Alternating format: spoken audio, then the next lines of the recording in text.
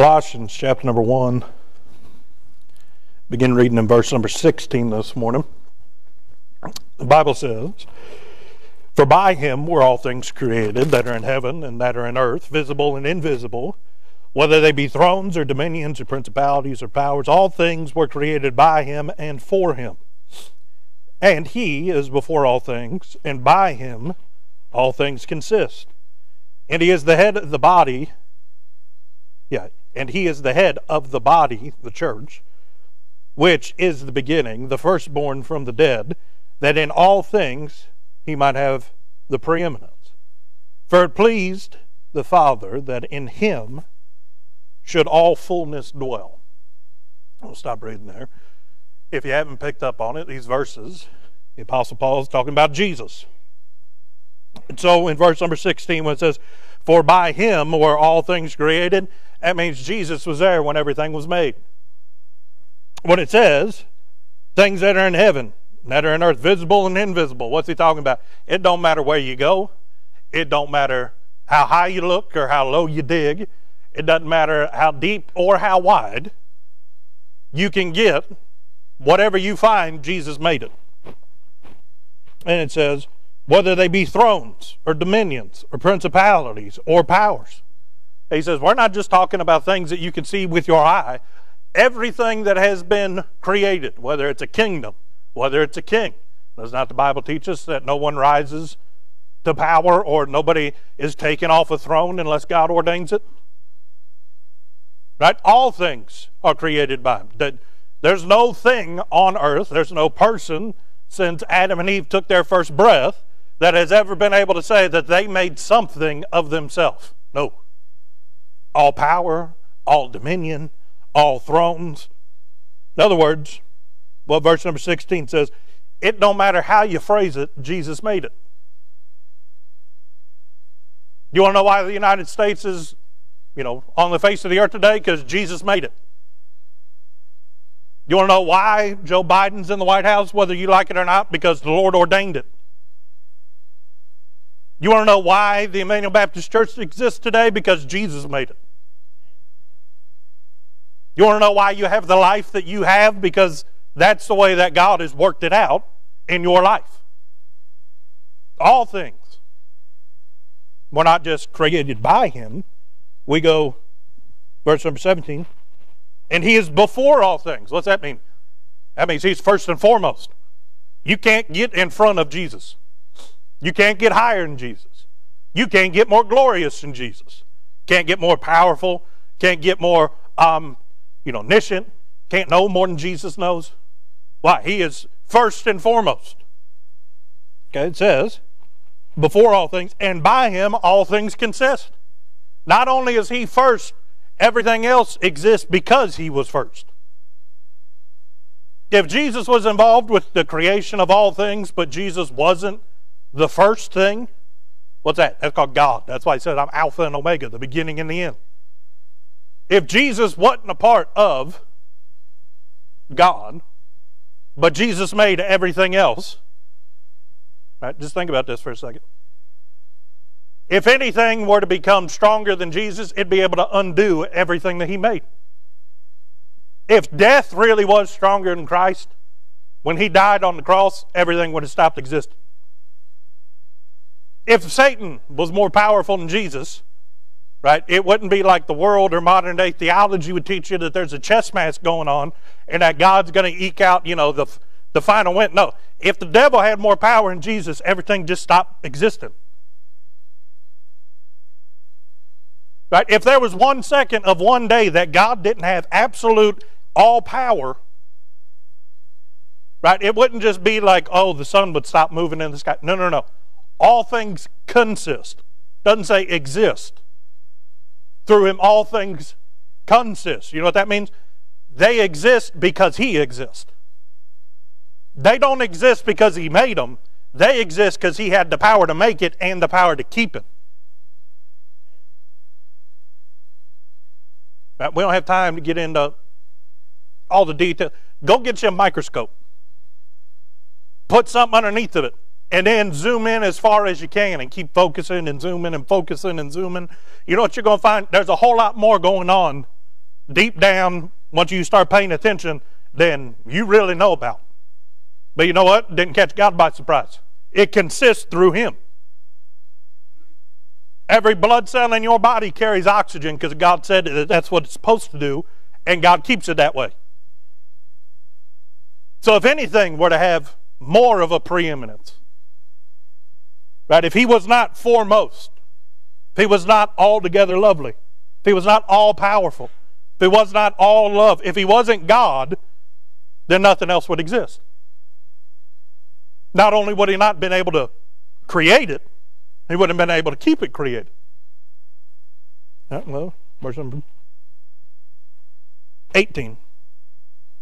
And he is the head of the body, of the church. Why do you think Jesus is in charge of the church? Because he's in charge of everything. Whether you admit it or not, he's Lord of lords and King of kings. He's in charge of everything that's going on, all the planets spinning around, all them asteroids that NASA's worried about hitting the Earth, not going to hit the Earth. Well, how do you know that, Brother Jordan? Because I know how the Earth ends and there ain't a big rock coming out of the sky. Well, there's this chance that in 40 billion years, not going to happen. I think we need to. I heard about one the other day. They want to go up and they want to paint one side of this huge asteroid white and then the other side black. Because, believe it or not, because of solar radiation and stuff, that'll actually cause it to change path and to miss the Earth. Because there's like a 0.00001% chance that it could hit Earth. Not going to happen. It's foolishness. Why? Because God said that that's not how the earth's going to end. Uh, but anyway. It says that he is the head of the body of the church. Who is the beginning? Now I want you to notice there. Between church and who, there's this thing called a colon. Okay, you use colon when you're getting ready to use examples of what you just talked about. Okay, for instance, I wrote an email the other day that said, blah, blah, blah, blah, blah, please see the items below, colon, and then there was a list. Right? So, when it comes to your Bible in verse number 18, he is the head of the body of the church. Okay, we're still talking about Jesus. He's the head of the church. Well, why is he the head of the church? Well, Paul's getting ready to tell you here. Who is the beginning? Well, why is he the head of the body, which he called the body of Christ, the church? Okay, why is he in charge of? Well, first off, he is the beginning. Didn't say who was from the beginning. No, no, no. Who is the beginning? I don't know because the Bible don't tell us about this thing called the Alpha of time. But before God one day stepped out on nothing and said, Let there be light, long before that, God existed. Well, where did he exist from? The beginning. Well, how'd that happen? I don't know. God didn't explain it. I'm not smart enough to figure it out. But ever since there has been, God has been. Not a moment, not a iota of time has existed that God didn't exist with it. It's not that he's been there from the beginning. No, he is the beginning. Right? So why is he in charge of the church? Because he's been in charge of everything since the beginning. Says the firstborn from the dead. Anybody ever lay down their life and take it back up again besides Jesus? The answer to that is no. There have been some that have had their life taken up by Christ. Lazarus come forth. He touched that boy on the funeral pyre. He got up off of it.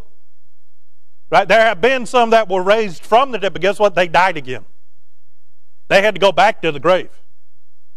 For a moment, for a space of time, Christ allowed them to enter the grave so that he could prove that he was stronger than the grave. So that people would believe when he said that, you know, you could tear down the temple, but in three days he'd raise it up again, build it again. It was talking about the temple of the flesh that they could put him in the grave, but he wasn't going to stay there. Right? It's not that he's just from the beginning.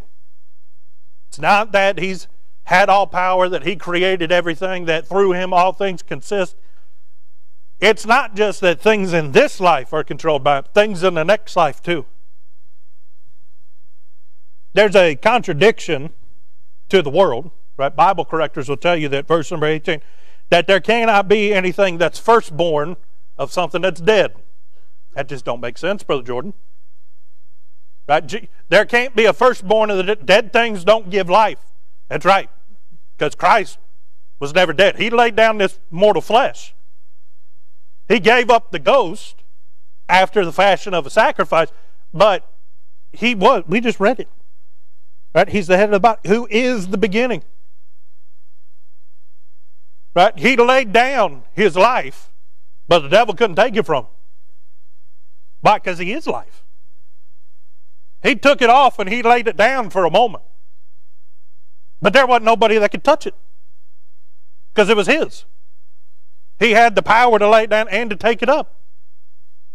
Do you understand that the devil did everything in his power, starting from about, oh, well, I'm sure he was at it long before then, but that we have evidence of in the Bible. First off, he tempt, tempted Christ right after he had fasted for 40 days because the devil don't like fighting fair. Now, but he shows up, and what did the Lord? He just rebuked him with the Word of God. Why? Because the Word of God is the words of the one that is God, and what's He? He's from the beginning. The devil can't argue with something that's been around longer than him. God made Lucifer. How do you argue with someone that says, hey, you remember when I made you? Right? That's why you can't win an argument with parents because they got the trump card. I brought you into this world, I'll take you out of it. But really, how do you look at the one that you know made everything, that you used to sing songs about in glory? That was his job as the, the angel of music. Right? How do you look at him and say you're wrong, knowing that he was the one that made you? So when Jesus said, I'm going to lay down my life, devil tried everything he could to take it. Couldn't move it. Couldn't touch it. Couldn't cause it to do anything but stay right where Jesus left it. And then guess what Jesus did? He came by and he picked it back up again. Came walking out of that tomb. But see, the devil tried everything he could. Look at the Garden of Gethsemane. He tried to get the body of Christ to faith. He gave up on trying to kill him. He said, We're just going to cripple his flesh to where he can't make it to the cross. His body was hemorrhaging. You know what that means? It's literally was pulling itself apart. It was under such strain that, you know, that's why they say, go get your tetanus shots. Tetanus is a horrible thing. Tetanus causes the muscles in your body to constrict and to not let go. Back in ye olden days, if you got tetanus, there wasn't anything they could do for it. And you knew that slowly your muscles were going to start getting tighter and tighter. Your muscles are so strong that if they lock up long enough, and if they cramp badly enough to where you can't unclench them, that you will break bones. Because your muscles are stronger than your bones if they apply a strong enough force. People have broken backs because their back muscles so tight and they can't loosen them up. That's why tetanus is such a horrible disease. Hallelujah. They got a vaccine for it. What happens when you step on a rusty nail? You go get a tetanus shot, you don't have to go through that. But those muscles literally are tearing that person apart. But what do you think Christ was going through in the Garden of Gethsemane? His body was under such a strain that it was ripping itself apart. He was sweating, as it were, great drops of blood. There was so much trauma on the inside that he wasn't bleeding from a cut or bleeding from a wound. No, he was just bleeding, and the blood was trying to get out. That's the amount of strain that the devil was trying to put his body under. He knew he couldn't kill him. He, he is life. He was trying to cripple him to keep him from getting to the cross. That devil knows flesh. What's flesh? It's the stuff that, you know, he tempted in order to disobey God. Tempted in order to sin. He beguiled the woman. The woman gave unto Adam, and he did eat. That he knew exactly what fruit it was, he still ate it anyway. That the devil knows flesh. He knows he's stronger than flesh. There ain't anybody in this room can walk up to the devil, decide to pick a fight, and then win. Now, he's bigger and he's stronger than you. Bible did call him a roaring lion. I don't know about you, but I'm not walking into a fight with a lion and winning. Right? If it's hand to hand, claw to claw, not going to happen. Right? Well, Satan thought, I know what flesh is like. I'm stronger than flesh. Yeah, but he wasn't stronger than that flesh. Because inside of that flesh was robed all the righteousness of God. He tried to kill him. He couldn't do it. Why? Because he's from the beginning. He had all power. By him and through it, that flesh couldn't have existed. Satan can't exist if God isn't God. Because through him do all things consist. Right, well, don't know how we got off on most of that, but who's the firstborn from the dead, that in all things he might have the preeminence. Keep in mind, verse number 18 is talking about Jesus being the head of the body. The body being the church, who is the beginning, the firstborn of the dead, that in all things he might have the preeminence. You know why Christ laid down his life and took it back up again? So that everybody that got saved had to admit that Jesus did it first. Now, I don't know about you. This may just be me. But I know some church folk think that they walk on gold. They don't do nothing wrong. That if they don't show up, church can't happen. Right? If they don't give their tithe check, then the church is going under. No, church is going to keep going on as long as God says it's supposed to go on. Right? If you don't show up, maybe it might be a better service if you came in with a bad spirit. You know why Christ laid down his life, became the firstborn of the dead? So that everyone that received a second birth after him had to admit that it was him. It's real hard to start, you know. That's why I, I get in trouble every now and then. People start saying, well, this, that, I didn't. Hmm. They start strutting like a peacock. I just, I'll usually find a way to bring up, a, but hey, isn't that because, you know, God empowered the church to do this, that, or the other? Well, yeah, what are you, what are you talking about? I'm saying you didn't do nothing. God did it. Right? When was the last time you went up and shook the hand of the hammer that built the house you live in? Right? Who do you shake? You thank the guy called a construction worker. You thank the builder, the planner. You thank the people that built it. You don't walk up and, you know, thank the toolbox. Why was Christ firstborn from that? So that everything that came after him gave him the preeminence, the first place, the best seat. Gave it in their heart the place of preeminence gave in their mind the place of preeminence, gave in their soul the place of preeminence. Why? Because so that we'd be able to fulfill, thou shalt love the Lord thy God with all thy heart, with all thy soul, with all thy mind. Christ is preeminent so that you will remember he's preeminent. He did everything for us, not for his sake. He was already from the beginning. By him, through him, did all things consist.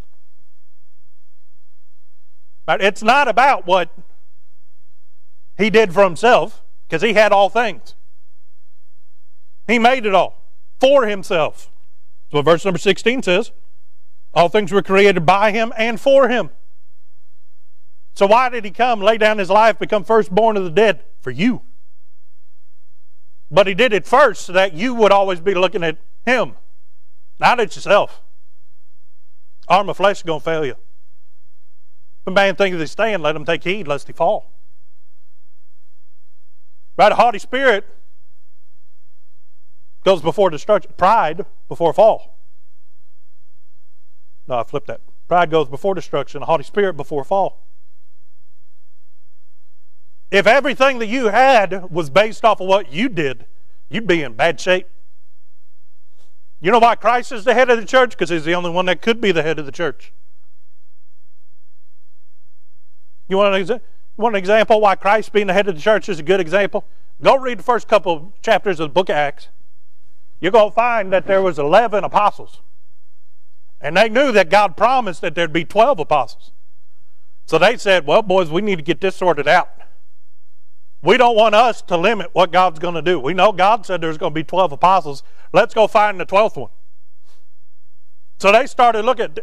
Go read it. They found one. They actually found a couple that had been with them from the beginning. That means that they saw everything that the other 11 apostles had seen. They had been everywhere that the other apostles had been.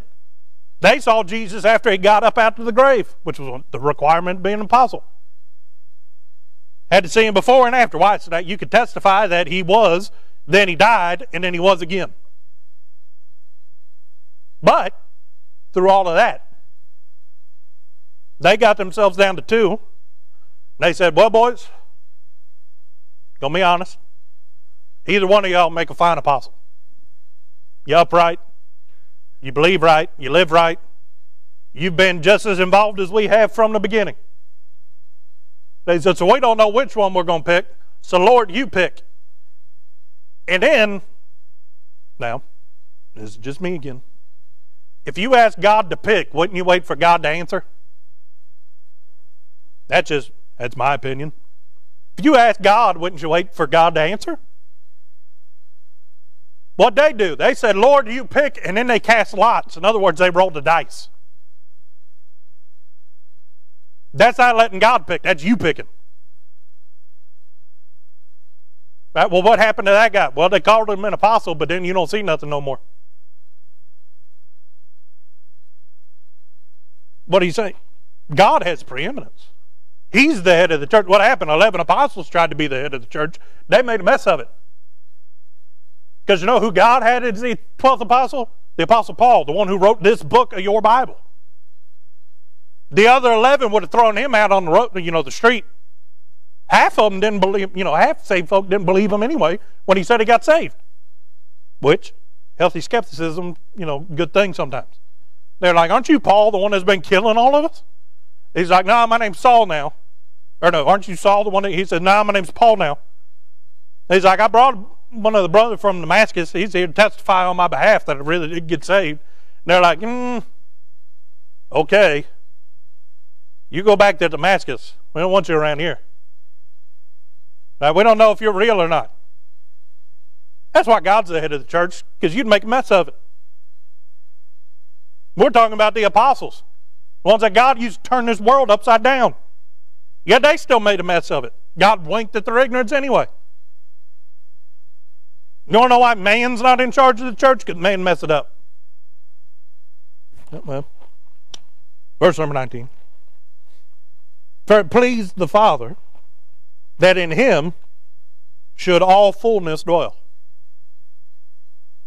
You know what, in these couple of verses we've learned about Jesus?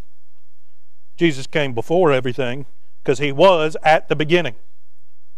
That means that not just is he being part of God, the oldest thing around, God's the only thing around. You know why everything exists? Because of God. You know what that means? God's the only thing around. You know why that pew doesn't fall and hit the ground right now? Because God said so. It's not because it's got a base and it's got screws in it. I find that Jesus walked into a room that had all the windows and the doors locked. How'd he do that? He's God. You know why that pew doesn't fall and hit the ground? Because God said it's not supposed to. You know why gravity exists? Because God said so. You know why waves have tides and they get bigger and then, you know, they swell and then they lower again? Because God said so. Really, it's because of the moon, but you know who put the moon there in order for it to cause the waters to do that? God. We can go as far down the rabbit hole as you want. You know what the answer is? God. Well, We've learned that about Christ. So everything exists because of him, but it exists through him. Meaning that without him, everything stopped existing. It's one thing to say, well, I made that Lego tower over there. But if I go away, forget about the Lego tower, as long as that Lego tower was, you know, stuck together when I left, it should be stuck together when I come back. I'm not the one holding that Lego tower together. Right now, if all the blocks were, you know, velcroed together, what's holding it together? The velcro, not me. We can super glue things together. What's holding it together? The super glue. I may put it there, but I'm not the one holding it there. See, God's the one that not only made it, God's the one that keeps it from falling apart. But what else have we learned about Christ? That He's got preeminence in all things. It don't matter where you go. You may think that you've seen the be- most beautiful sunset that you've ever seen. You know what's not as beautiful as Jesus? Because He's got the preeminence. You may go and find and you know find the person that you think is the smartest has ever been. Not as smart as Jesus. You want chapter and verse on that? Go read the accounts when he went to the temple at 12 years old. He left the, the smartest of the scholars dumbfounded. He's answering questions that, you know, they'd had amongst themselves for hundreds of years. He's just answering them like it's no big problem. Why? Because he's got the preeminence in all things. He knew it all because he was there when it all happened. It doesn't matter how big your giant is, God's bigger than your giant. Doesn't matter how big your anxiety, your fear, your depression, doesn't matter what you're going through, there's something bigger than it. It's called Jesus. Why? Because he has preeminence in all things.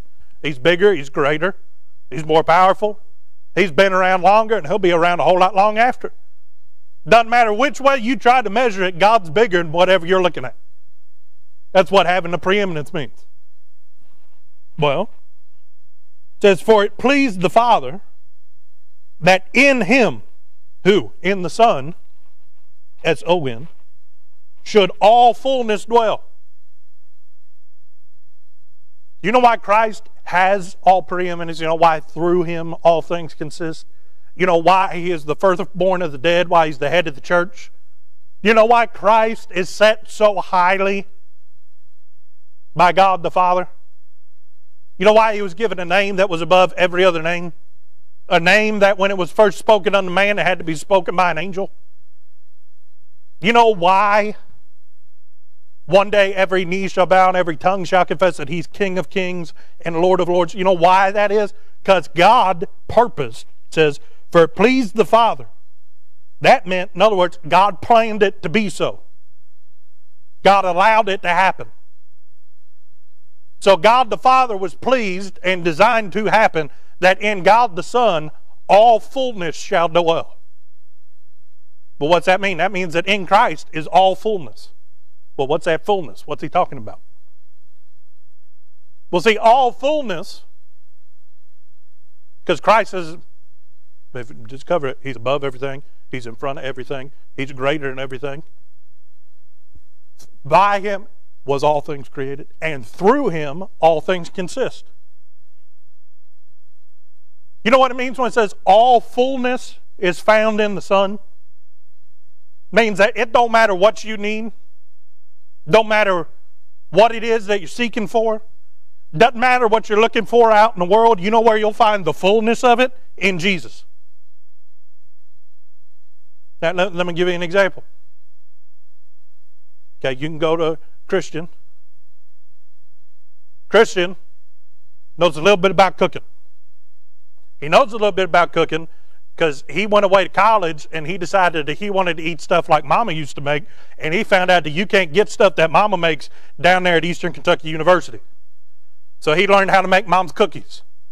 And he was addicted to bacon. That's why they called him in the police academy Hog Jaws, because he has, you know, jaws like a hog because he eats so much hog. Right? He used to make bowls out of bacon and then put salads inside of them. That's real healthy. Right? He, he knows a little bit about cooking. I think at one point he had the recipe for mom's cookies. Right? You can go and ask him for that recipe. Or I can go to the one that doesn't need a recipe. She looks at it, she just throws it in the bowl, and then next thing you know, Hey, there's the cookie dough. Well, how long do I put it in there for? I don't need to go check a, a sheet. She'll tell you. Put it in there this hot for that long. Well, when do I take it out? Take it, you know, take it out. When can I eat it? Don't eat it yet. Still too soft. I can ask him. There's a good chance it's not going to be the same. Might be close. But I know the one in whom all the greatest cookies, and see, I'm not alone in this. Anybody that's ever had mom's cookies, they agree with me. Everybody thinks I'm crazy until they try one right? What happened? I know the one that in all fullness of the chocolate chip cookies, I know where it dwells. Annette Foster. It's not with Christian. If I want chocolate chip cookies, I'm going to the source. I'm not going for the duplication. What he's saying, Brother George, well, you can go out there and you can look for wisdom. You know where the fullness of all wisdom is found? In Christ. Why do you think the fear of the Lord is the beginning of wisdom? You want to know where all comfort is with the great comforter? Capital C comforter. Who's that? That's God, your Holy Spirit, the Holy Ghost that seals and indwells you until the day of redemption.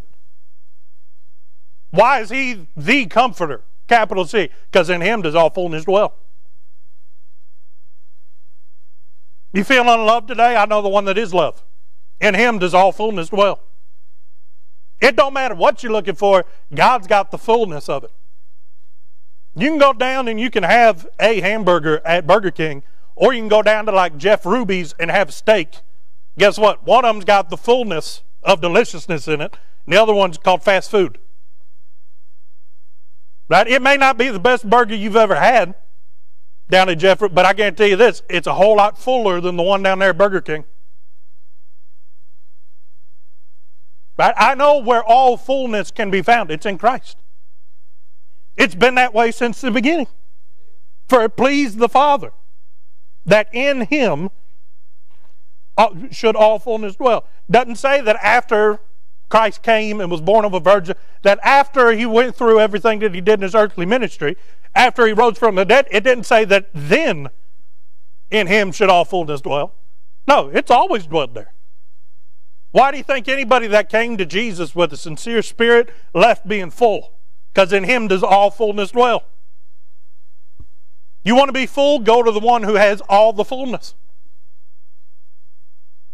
You understand the reason that God has never desired anything is because God is everything? We already said that through him all things were made. Right? Everything that was made is an extension of God. Why do you think that it's an insult unto God that man chose to sin? Because God made man in his image. God reached down and fashioned man out of the dust of the earth with his very hand. God breathed into man the very breath of God, which caused him to become a living soul. You know why man exists? Because God gave part of himself to man. You know why trees exist? Because God said so, and God put it there, and God keeps it there. You want to know why you can't get rid of dandelions? Because God wanted them to exist. You want to know why all the things that you can look at in nature? This is why man's without excuse to look around at everything that's created and know that nothing else that we can see created anything else that we see. We know that there's a divine creator.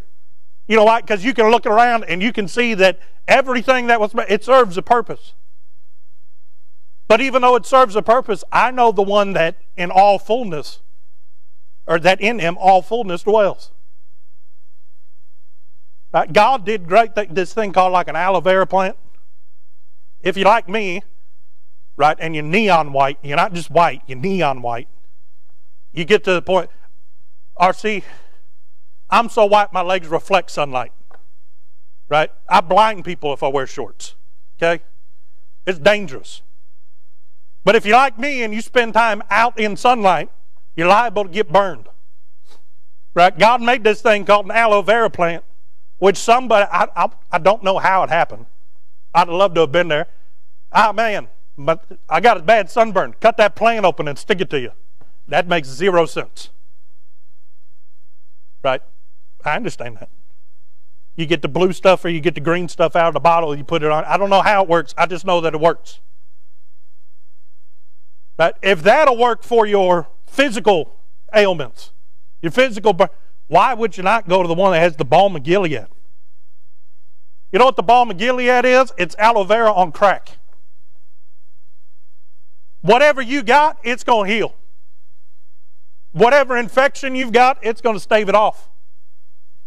Whatever threat or danger that there might be with an infection, the balm of Gilead is going to take care of it. It's going to nip it in the bud. Now, sure, you can get in here and you can labor and you can go and ask many people. And the Bible says that there's great wisdom in a multitude of counsel. Right? Bible says that if you know God blesses you with a church family like we got, where there are those that have been around the block a time or two, that you can go and it, they're supposed to disciple you. You're not supposed to ask them; they're supposed to. Hallelujah! We got a pastor that's got a library bigger than you know most small towns throughout Kentucky. Uh, but why? Well, so that he can study. So that we can be partakers with not, not everybody in here has got enough brain power or enough time to learn everything that there is to know about God. But God gave us an under shepherd to lead us and guide us, to instruct us, to reprove us, to rebuke us through preaching. But as great a pastor, as great as the church library as we got, it's great as some of the elders of the church that we got around here. And it's, you know, great that they do with what they do. I know the one in whom all fullness dwells.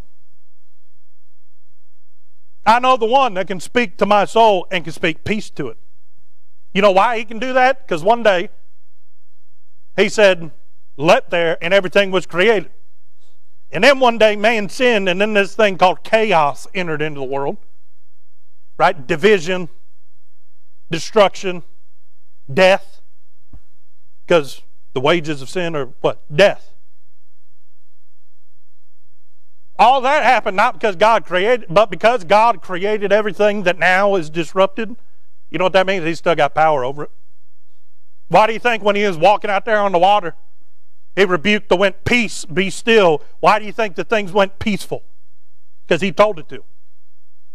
He was the one that told it to start flowing in the first place. He was the one that allowed it to whip up into a storm. So if he can speak peace to a storm,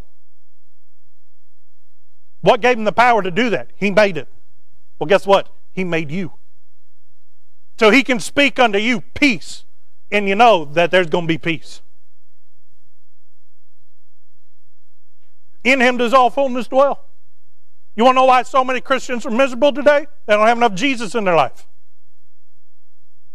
Because on the authority of your Bible, you're never going to be disappointed in him. In him does all fullness dwell. By saying that if you got enough Jesus in your life, you're always going to be happy, happy, happy. That's all I said. Said so many Christians are miserable. Why? Because they're empty. There's a difference between being full and being happy.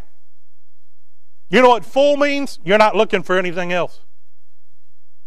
You know what? Job didn't second guess for a moment that he was supposed to carry on living as thus saith the Lord and not doubting God for what he had allowed to happen to him.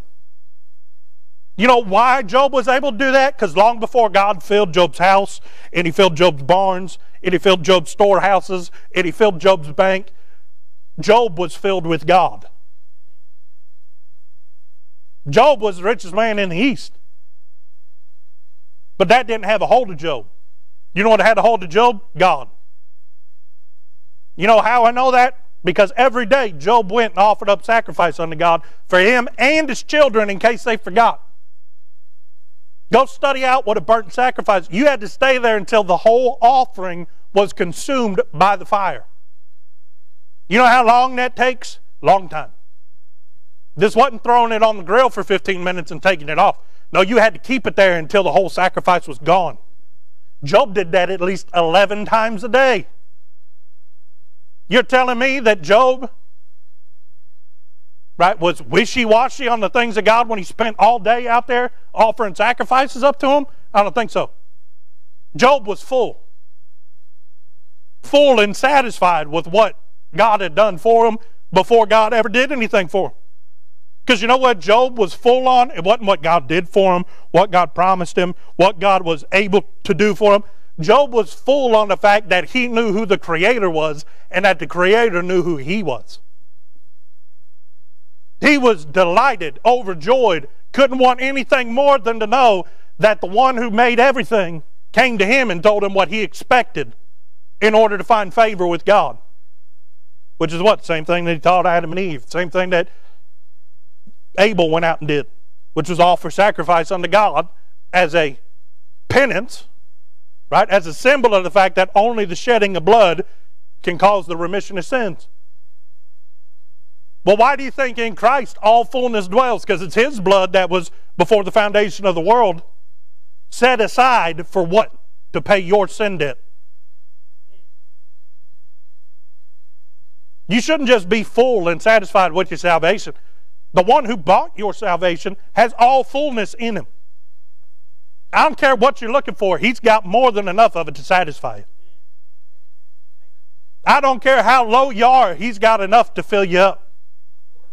I don't care how high you are right now, he's got enough to get you through the next valley and back up to the mountaintop. I don't care where you go, he's got the perfect directions. I don't care how it is that the world's attacking you. In him does all fullness dwell. You're going to find great comfort underneath of his wings. I don't care what they throw at you. He's got all fullness. You know, that means his defenses don't have weaknesses. In him does all fullness dwell. You know what that means? If the enemy comes to his gates, they can't kick him in. But you know what he can do? Bible says that the gates of hell shall not prevail against the church of the living. God's real good at kicking in all the devil's plans. And when he does it, you know what you'll find? You're full. God's got not just the fullness in their outcomes. God's got the fullness to keep you where you need to be so that you get to the finish. God's got enough fullness to give you faith at the beginning of the trip that whatever you encounter along the way, He's going to be more than enough for.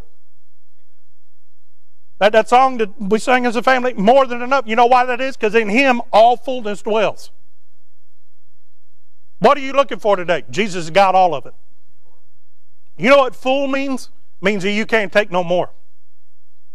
You know what happens when you get to Jesus? It don't matter what you're looking for. He's going to fill you up till you can't take no more. Doesn't the Bible say pressed down, shaking, and bubbling over? You know what that means? They shook the bag to get as much as they could in it. Then, after they shook it, they started pressing it down to get even more into it. And then they just kept pouring until it started coming out the top. You know what that means? Full.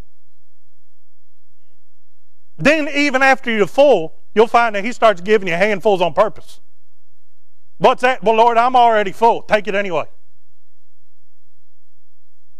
I mean, I believe it was Charles Spurgeon that said, the psalmist, when he wrote that daily he loadeth us with benefits, that means if you really look at everything that God blesses you with, it takes about all that you can do and all you can manage just to carry around all that God's blessed you with. But imagine that you was the horse drawing the cart of what God blessed you with. I don't know about you, but my horse is real tired because that wagon's real heavy. Why? Because God doesn't just give in part. No, He gives in full. Why? Because He is full. He's all fullness. He can't help it. He's just that way. You know why He fulfills and satisfies fully? Because He's just full. I mean, imagine going to a well and no matter how much you took out of it, it don't run out. That's Him. Imagine going to a, you know, the widow woman with the cruse oil and the meal. Doesn't matter how far she scraped down to the bottom, they always ate until they were full.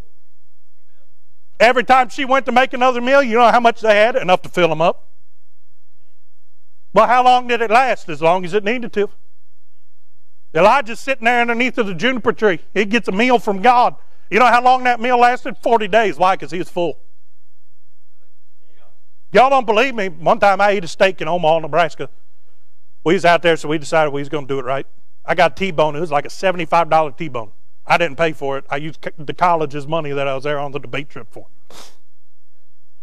I ate a $75 T-bone in Omaha, Nebraska, and I wasn't hungry for two days. This is me we're talking about. I get hungry walking around the house. What happened? I don't know what was in that steak, but I was full. I wasn't hungry. Hey, you want to go get something to eat? No, I'm, I'm still full. How's that possible? I don't know. But I need another one. When you figure out that you didn't eat for two days, 75 bucks for one meal wasn't too bad. It averaged out. What are you saying, Brother Jordan? You get to Jesus, it don't make, hey, you want any of this? The world starts off, nope, I'm full. You want some of this doubt in your life? Nope, I'm full. You know why so many Christians have an empty life? Because they've gotten away from Jesus. You stick around Jesus, you're going to be full. You, you can't avoid it. He starts just giving you handfuls. Here, hey, take some of this. You take a bite, guess what? You full. Bite, because it came from him. In him does all fullness dwell. You know why some people are steadfast, shakable, unmovable? Because they're full. They're not looking to go nowhere else, not looking for anything else. They don't even want to entertain the idea of anything else because they know what makes them full. When you're full, you're not looking for snacks. You're not looking at the restaurants on the interstate exits saying, hmm, well, that sounds pretty good. When you're full, you're not thinking about anything out there. You're thinking about where you're going. Do you know why in Christ all fullness dwells? So that you don't ever have to look anywhere else. Did he not say that come unto him and he no wise cast you out? Did he not say that he'd never leave you nor forsake you? That he'd provide all your needs? How was he able to say that? Because in him does all fullness dwell. What was his one request? Seek ye first the kingdom of heaven. Why? If you fall on him, you're going to care about the things that he cares about. You're going to love the things that he loves. What's he love? The Father. What he come to do? The will of the Father. And why did he come to do it? So that the Father's kingdom may be full, just like him. He's full and he's looking to fill up new heaven, new earth, new Jerusalem. For what purpose? That he might have the preeminence among all things. That we'll be there as a testimony of the fact that God loved us and redeemed us in spite of ourselves. And that through it all, he was more than enough to take care of me, take care of you, and take care of anybody that ever came to him. Because in him does all fullness dwell. Did you know that you could receive a daily devotion every morning in your inbox? Head on over to ibcflorence.com and click on Daily Devotions to sign up today. And as always, thanks for listening.